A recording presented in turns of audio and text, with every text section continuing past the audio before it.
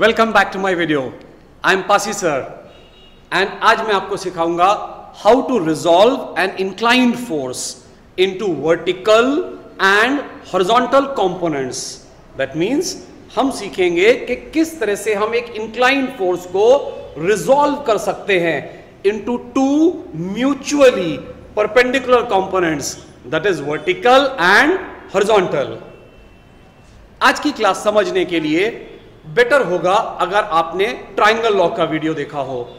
क्योंकि triangle law हमें सिखाता है how to find resultant of two perpendicular vectors आज हम सीखेंगे एग्जैक्टली exactly उसका कन्वर्स यानी उसका उल्टा। एक बार ट्राइंगल लॉ ब्रश अप करते, उससे आपको बेटर समझेगा। जैसे मैंने आपको सिखाया था कि अगर मेरे पास दो फोर्सेस हैं से एफ़ एक्स और एफ़ वाई और मुझे निकालना है इनका resultant in magnitude and direction तो हमने ट्राइंगल लॉ से सीखा था कि इनका रिजल्टेंट होगा दोनों के बीच में और ये एंगल होगा एंगल थीटा तो हमने सीखा था आर होगा under root F X square plus F Y square and theta will be tan inverse of F Y upon F X यानी ट्राइंगल लॉ में हमने सीखा कि हमें ये और ये दिया होता था। एफ़ एक्स और एफ़ वाई। और उसमें से हम निकाल लेते थे आर एंड थीटा। आज जो हम सीखने जा रहे हैं वो इसका उल्टा है। यानी क्वेश्चन हमें देगा एक फोर्स से 60 न्यूटन और देगा ये एंगल से 40 डिग्रीज और अब हमें वो दो फोर्सेस निकालने हैं वर्टिकल एंड हॉरिजॉन्टल जिनका ये रिजल्टेंट है। दैट मींस वो जो दो वर्टिकल एंड हॉरिजॉन्टल फोर्सेस जिनकी मैं बात कर रहा हूँ, जिनका ये रिजल्टेंट है, वो दो कहलाएँगे इसके दो म्यूचुअली परपेंडिकुलर कंपोनेंट्स जैसे इसी फोर्स को हम देख के बोल सकते हैं कि इसके दो कंपोनेंट्स होंगे, एक टुवर्ड्स राइट और एक अपवर्ड्स अब हम इसको बोल पाएँगे एफ़ एक्स इसको बोल पाएँगे एफ़ वाई अगर मैंने इस 60 और 40 की हेल्प से एफ़ एक्स और एफ़ वाई निकालना सीख लिया तो इसका मतलब होगा मैंने इस फोर्स को दो म्यूचुअली परपेंडिकुलर कंपोनेंट्स में रिजॉल्व कर दिया। यानी हमारा एम है उन दो फोर्सेस को निकालना जिनका ये रिजल्टेंट है। ये बात जो मैं बोल रहा हूँ, ये आपको समझ में आनी चाहिए। एक बात हम दो तरह से बोल सकते हैं। हम बोल सकते हैं कि एफ़ एक्स और एफ़ का ये रिजल्टेंट है। या हम बोल सकते हैं इस फोर्स के ये दो कंपोनेंट्स हैं along X and along Y यानी अगर हमने एफ़ एक्स और एफ़ निकालना सीख लिया तो हमने इस फोर्स को दो कंपोनेंट्स में रिजॉल्व कर दिया। तो हम दो एग्ज़ाम्पल से समझेंगे कि कैसे रिजॉल्व करते हैं। दैट मींस कैसे निकालते हैं एफ़ और एफ़ एक बार हमने एफ़ एक्स एफ़ वाई निकालने का प्रोसेस समझ लिया।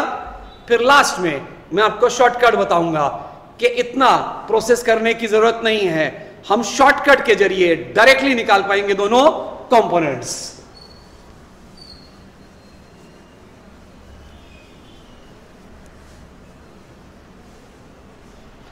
तो रिजॉल्व करने का प्रोसेस सीखते हैं। सपोज़ हमारे पास एक फोर्स है ऐसा, से 80 न्यूटन और ये एंगल से हमको दिया हुआ है 50 डिग्री और हमें इस फोर्स के बनाने हैं दो कंपोनेंट्स तो आप दो फोर्सेस से पहले प्रोसेस सीखिए। सबसे पहले हम क्या करते हैं? एरो देखते हैं। और एरो देख के हम यूज़ करते हैं अपनी कॉमन सेंस और डिसाइड करते हैं कि क्या होगी दो कंपोनेंट्स की डायरेक्शन अब अगर एरो ऐसा है तो इसके दो कंपोनेंट्स की डायरेक्शन होगी टुवर्ड्स लेफ़्ट एंड अपवर्ड्स इसका मतलब इस फोर्स के जो दो कंपोनेंट्स होंगे along X and along Y they will be left and upwards तभी तो इन दोनों का ये रिजल्टेंट होगा। अब इस कंपोनेंट को हम नाम दे देते एफ़ एक्स इस कंपोनेंट को नाम दे देते हम एफ़ वाई अगर हमने एफ़ एक्स और एफ़ वाई निकाल लिया तो इसका मतलब होगा हमने इस फोर्स को दो कंपोनेंट्स में रिजॉल्व कर दिया वर्टिकल एंड हॉरिजॉन्टल अब, इन दोनों का ये रिजल्टेंट है। इसका मतलब जो मैंने ट्राइंगल लॉ में सीखा, मैं वो यहाँ अप्लाई कर सकता हूँ। ट्राइंगल लॉ में मैंने सीखा कि अगर इन दोनों का ये रिजल्टेंट है तो मैं ड्रॉ कर सकता हूँ इनका पॉलीगन। यानी सबसे पहले मैं लूँगा स्टार्टिंग पॉइंट ओ अब पहला वेक्टर ड्रॉ करूँगा with its arrow going away from O तो ये बन जाएगा मेरा एफ़ एक्स अब इसके हेड पे चिपकाऊँगा अगले की टेल इसका मतलब ये ऊपर की तरफ़ ड्रॉ कर दूँगा मैं एफ़ वाई और ट्राइंगल लॉ में मैंने आपको सिखाया था अब स्टार्टिंग पॉइंट से लास्ट पॉइंट जो जाएगा, ये होगा मेरा resultant both in magnitude and direction फिर से वो पॉलीगन बन गया जैसा ट्राइंगल लॉ में बना था। अब इसमें मुझे ये रिजल्टेंट और ये एंगल पता है। तो एफ़ एक्स एफ़ वाई निकालने के लिए मैं इसमें अप्लाई कर दूँगा सिंपल मैथ्स कॉस और साइन तो इसमें से अगर मैं लिखूं कॉस 50 तो cos will be base upon hypotenuse तो this will become F X upon eighty या मेरे पास यहाँ से आ जाएगा F X is equal to eighty cos fifty और मेरे पास एफ़ एक्स की वैल्यू आ गई. इसी तरह से इसी ट्राइंगल में अब मैं अप्लाई कर दूँगा साइन 50 अब साइन क्या होता है? साइन होता है अपोजिट अपॉन हाइपोटेन्यूज इसका मतलब वो हो जाएगा एफ़ वाई अपॉन एट्टी तो मैं यहाँ से लिख सकूँगा F Y will be equal to eighty sine fifty और मैंने इस फोर्स के एफ़ एक्स और एफ़ वाई की वैल्यू निकाल ली। यानी मैं कह सकता हूँ F X is eighty cos fifty and मैं लिख सकता हूँ F Y is eighty sine fifty इस तरह से मैंने इस इंक्लाइंड फोर्स को दो कंपोनेंट्स में रिजॉल्व कर लिया। ये जो मैंने आपको सिखाया है, ये रिजॉल्व करने का एक्चुअल तरीका है। दैट मीन्स ये तरीका पता होने, समझने के लिए हमें पहले पता होना चाहिए क्या होता है ट्राइंगल लॉ एक और एग्ज़ाम्पल देखते आप ये दूसरा एग्ज़ाम्पल ध्यान से समझिए, उसके बाद मैं आपको शॉर्टकट बताऊँगा, जिससे हमारा काम बहुत आसान हो जाता है। सपोज़ हमारे पास एक फोर्स है ऐसा। मैं जानबूझ के अलग अलग क्वाड्रेंट्स में ले रहा हूँ, ताकि हम ये लॉजिक समझ सकें। एंड इस फोर्स का एंगल इस बार मैं आपको ये दे देता हूँ। लेटेस्ट से ये एंगल है 55 एंड ये फोर्स है 90 न्यूटन अब मुझे इस फोर्स को रिजॉल्व करना है इनटू टू कंपोनेंट्स तरीका देखिए। सबसे पहले मैं उसका एरो देखूँगा और तय करूँगा दो कंपोनेंट्स की डायरेक्शन स्टार्टिंग में मैं वैल्यू की चिंता नहीं कर रहा। सबसे पहले मैं एरो देखता हूँ और तय करता हूँ दो कंपोनेंट्स की डायरेक्शन यूजिंग कॉमन सेंस तो मैं बोल सकता हूँ, इसके दो कंपोनेंट्स की डायरेक्शन होगी टुवर्ड्स राइट एंड डाउनवर्ड्स तभी तो रिजल्टेंट दोनों के बीच में आएगा। अब ये कंपोनेंट होगा मेरा एफ़ एक्स ये कंपोनेंट होगा मेरा एफ़ वाई कुछ बच्चे यहाँ कंफ्यूज हो जाते हैं। जो कंपोनेंट अलोंग एक्स है, वो तो एफ़ एक्स ही होगा ना। और जो कंपोनेंट अलोंग वाई है, वो एफ़ वाई ही होगा। सिर्फ़ मैंने एंगल इस बार एक्स की जगह दे दिया है वाई के साथ। उसका मतलब कंपोनेंट्स एफ़ एक्स और एफ़ वाई चेंज नहीं होंगे। अब इन दोनों का ये रिजल्टेंट है। तो हम फिर से इस पे अप्लाई कर सकते हैं अपना ट्राइंगल लॉ यानी हम फिर से बनाते हैं पॉलीगन तो स्टार्टिंग पॉइंट लेते हैं ओ पहला वेक्टर ड्रॉ करते F X with its arrow going away from O अब दूसरा वेक्टर ड्रॉ करेंगे इन सच ए वे कि इसके हेड पे आए इसकी टेल इसका मतलब ये वेक्टर अब नीचे की तरफ़ आ जाएगा एफ़ वाई अब रिजल्टेंट कहाँ से कहाँ होता है हमारा? From the starting point going towards the last point is our resultant. तो ये होगा हमारा रिजल्टेंट ये होगा हमारा resultant in magnitude and direction इसका मतलब ये है 90 लेकिन इस बार मुझे हॉरिजॉन्टल के साथ एंगल नहीं दिया। मुझे एंगल दिया है एफ़ वाई के साथ। तो जैसा दिया है मैं वैसा ही लिखूँगा। ये एंगल मेरे को दिया हुआ है इसके साथ विच इज़ 55 अब फिर से बन गया मेरा राइट एंगल ट्राइंगल अब इस ट्राइंगल में फिर से मैं अप्लाई करूँगा कॉस और साइन यानी अगर हम इसमें कॉस अप्लाई करें, ध्यान से देखिए तो कॉस 55 विल बी अब cos 55 के लिए ये बन जाएगा बेस और ये होगा हाइपोटिन्यूस तो cos 55 will become F Y upon 90 यानी मेरे पास यहाँ से आ जाएगा F Y will be equal to will be equal to 90 cos 55 और मेरे पास एफ़ वाई की वैल्यू आ गई। इसी तरह से इस ट्राइंगल में अब अप्लाई करूँगा साइन तो मैं बोल सकता हूँ sine 55 will be equal to अब sine will be opposite upon hypotenuse यानी परपेंडिकुलर अपॉन हाइपोटेन्यूज तो परपेंडिकुलर हुआ एफ़ एक्स अपॉन हाइपोटेन्यूज हुआ 90 तो मेरे पास यहाँ से आ जाएगा F X is equal to 90 sine 55 और मेरे पास आ गई एफ़ एक्स और एफ़ वाई की वैल्यू तो मेरे पास एफ़ एक्स इस बार आया 90 साइन 55 और मेरे पास एफ़ वाई इस बार आया 90 कॉस 55 और मैंने इस फोर्स को दो म्यूचुअली परपेंडिकुलर कंपोनेंट्स में रिजॉल्व कर दिया along X and along Y लेकिन पेपर में हमारे पास इतना टाइम नहीं होता कि हम ये सब रिजॉल्व करते बैठे या ट्राइंगल प्रूव करते बैठे। तो अब हम शॉर्टकट सीखेंगे कैसे रिजॉल्व करना है। आप ध्यान से सुनिएगा मेरा स्टेटमेंट पहले इधर मत देखिएगा. पहले मेरा स्टेटमेंट समझिए, फिर हम बोर्ड पे देखेंगे. आपको बस एक लाइन समझनी है जो मैं बोलने जा रहा हूँ, और आप रेजोल्यूशन सीख जाओगे. आप याद रखो फोर्स जिस एक्सिस के साथ फोर्स जिस एक्सिस के साथ एंगल थीटा बनाएगा, यानी एक्स के साथ या वाई के साथ फोर्स जिस एक्सिस के साथ एंगल थीटा बनाएगा, वो एक्सिस वाला कंपोनेंट कॉस कंपोनेंट होगा। यानी आपको सिर्फ़ ये देखना है कि फोर्स किस एक्सिस के साथ एंगल बना रहा है।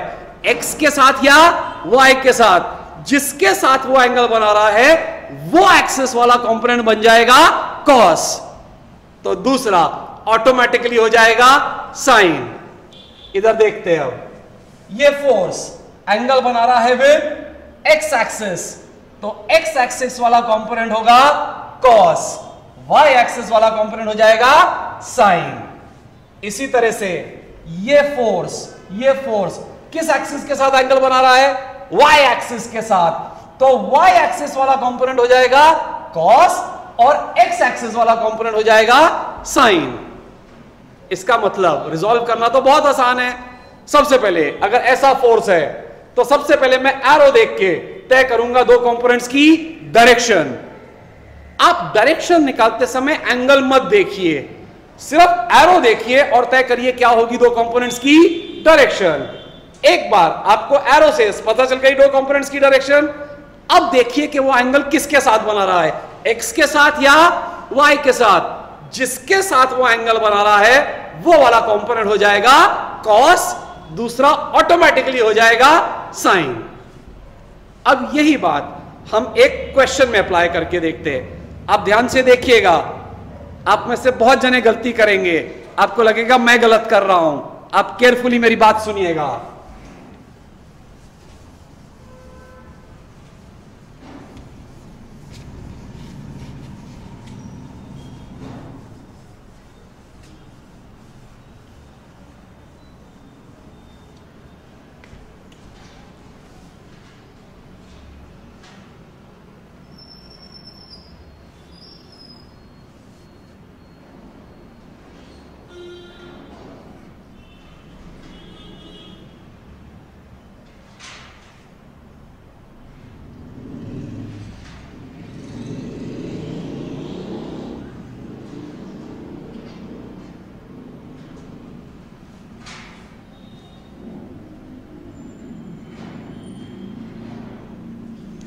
अब सपोज़ ये हमारे पास चार फोर्सेस हैं।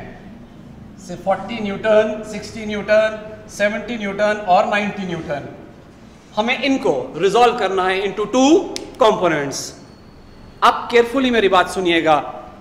अगर आपने स्टार्ट में रिजॉल्व गलत कर दिया तो क्वेश्चन का स्टार्ट गलत हो जाता है। उसके बाद सारी क्वेश्चन गलत हो जाती हैं। तो जैसा मैं बोल रहा हूँ, आप केयरफुली मेरे साथ बोलिएगा और समझिएगा। ध्यान से देखते हैं। सबसे पहले 40 को रिजॉल्व करते हैं। तरीका सुनिए। सबसे पहले हम देखेंगे उसका एरो और तय करेंगे क्या होगी दो कंपोनेंट्स की डायरेक्शन अब एरो बताता है, इसके दो कंपोनेंट्स होंगे अप एंड राइट तभी तो रिजल्टेंट होगा दोनों के बीच में। अब अपने आप से बात करेंगे, ये फोर्स किसके साथ एंगल बना रहा है? एक्स के साथ। तो एक्स कंपोनेंट होगा कॉस अब इनमें से एक्स कंपोनेंट कौन सा है? तो ये वाला कंपोनेंट होगा 40 cos 50 ये हो जाएगा 40 sin 50 और हमने इस फोर्स को दो कंपोनेंट्स में रिजॉल्व कर दिया। दूसरा देखते हैं। इस फोर्स के हाँ अब जैसा है, हमें वैसे रिजॉल्व करना आना चाहिए। इसका एरो ऐसा है। तो इसके दो कंपोनेंट्स की डायरेक्शन क्या होगी? हम एरो देख के तय करते हैं दो कंपोनेंट्स की डायरेक्शन तो इसके दो कंपोनेंट्स की डायरेक्शन होगी टुवर्ड्स राइट एंड डाउनवर्ड्स अब अपने आप से बात करते ये फोर्स एंगल किसके साथ बना रहा है? Y. तो y एक्सेस वाला कंपोनेंट होगा कॉस तो इनमें से y एक्सेस वाला कंपोनेंट कौन सा है? तो ये वाला होगा cos. तो 60 cos 40 ये हो जाएगा 60 sin 40 और हमने इसको भी रिजॉल्व कर दिया। अगला फोर्स देखते हैं। मुझे पता है इसमें बहुत बच्चों को कंफ्यूजन होता है क्योंकि जैसा मैं बोल रहा हूँ आप वैसा नहीं बोल रहे होते। आप ये बात बोलिए अपने आप से कि हम इसका एंगल दिया है विद y एक्सेस तो y एक्सेस वाला कंपोनेंट होगा cos तो इनमें से y एक्सेस वाला कौन सा है? तो ये वाला होगा कॉस ये होगा साइन अगला देखते हैं। इसके दो कंपोनेंट्स की डायरेक्शन होगी लेफ़्ट और डाउन क्या देख के तय किया हमने? उसका एरो तभी तो रिजल्टेंट होगा दोनों के बीच में।